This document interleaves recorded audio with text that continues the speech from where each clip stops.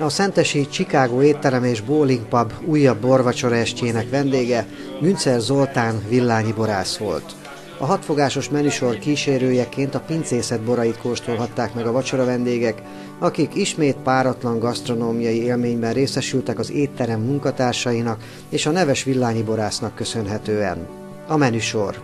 Előétel. Santa Comba lepény 2011-es sárdonéval. Leves, őszi barack krémleves Pinkerton módra 2012-es rozéval.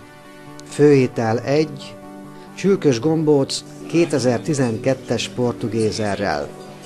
Főétel 2, Chicago Red hátszín pácolt zöldségekkel, 2009-es bocor kékfrankos sirával.